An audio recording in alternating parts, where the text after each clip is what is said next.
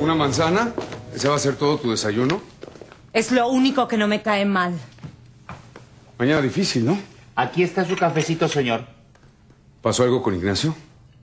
¿Con quién más? ¿Qué te dijo esta vez? Que me dijo no. ¿Qué hizo?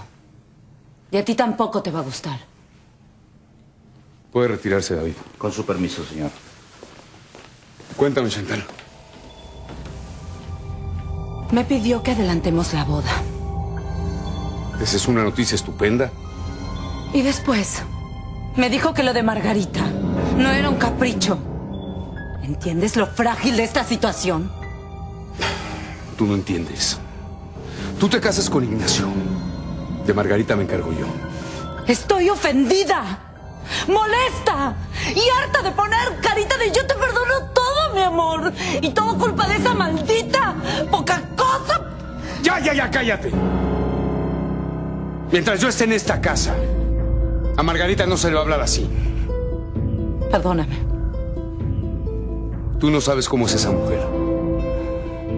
Tú no le llegas ni a los tobillos, Chantal.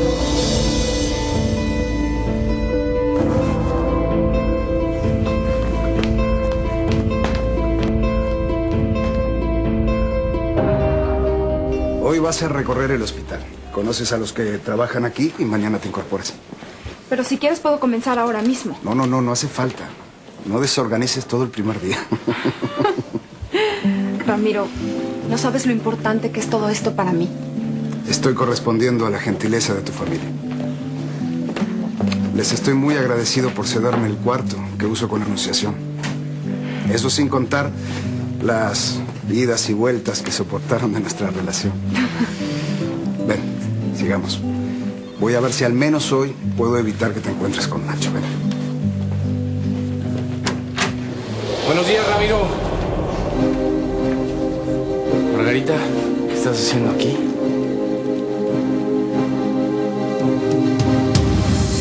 Amarte así, me ha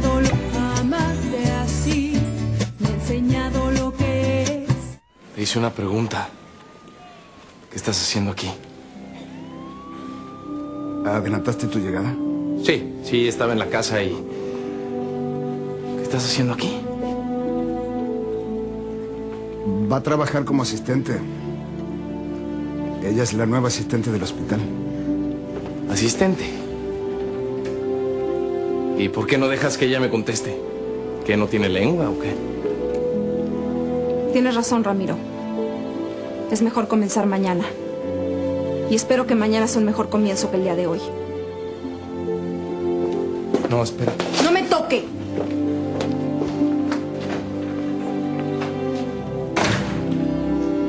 Fue idea tuya, ¿no? Ahí la tienes, como querías. Sí, pero no sé si fue mi mejor idea. Te lo juro que no lo sé. Doña Evangelina, por lo menos dígame para qué quiere que la acompañe. ¿Para dónde vamos? Es que anoche estuve sueñe y sueñe contigo. ¿Y eso qué significa? Mira, las cosas hay que solucionarlas a tiempo. Pero ayer estaba decidida, pero me detuvo la muerte de la madre de Rosita. Ah, no. No. No, doña Evangelina. Si usted no me dice en este mismo instante para dónde me lleva, ¿de que no me muevo? Tú vienes conmigo. Mira, si cierro la boca es porque tengo mis razones. Es una sorpresa. Es... No quiero adelantarte nada. Tú sígueme, pero no digas nada. Doña Evangelina, por favor, dígame por lo menos algo. Me la estoy jugando por ti, Nacho.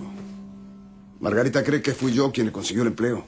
Ah, me lo estás reprochando. Sí. Como amigo te ayudo y como hombre me callo. Pero ¿tú sabes en lo que te estás metiendo? No, y nunca lo he sabido. A lo mejor por eso no me va tan mal.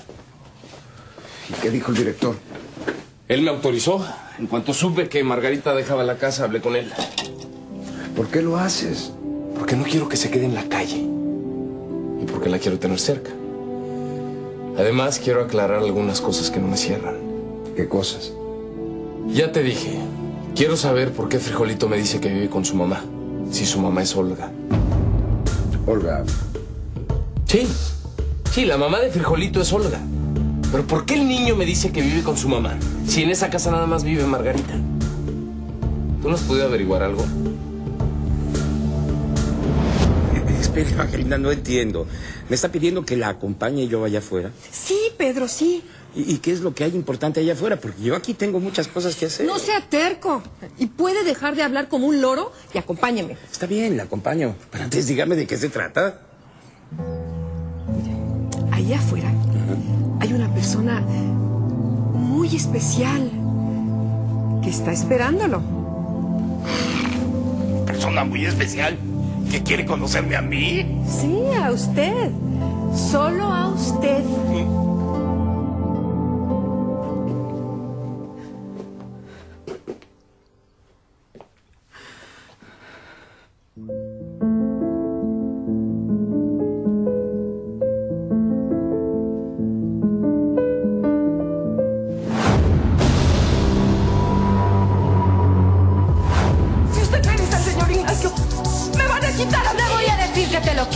No, señorita Santal, mi hijo no. Mi hijo no. Lo voy a hacer. Es mejor que ese niño viva con Ignacio y conmigo.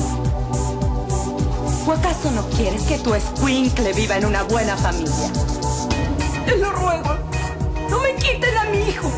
No me lo quiten, por favor. Nadie me va a quitar a mi hijo.